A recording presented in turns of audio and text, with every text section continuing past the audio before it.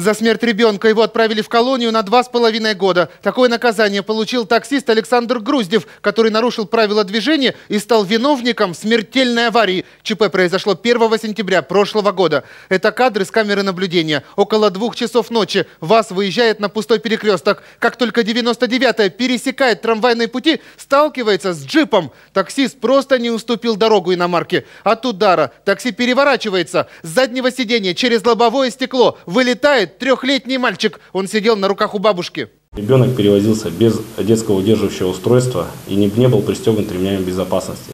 Кроме того, таксист должен будет выплатить штраф 500 тысяч рублей родственникам погибшего мальчика.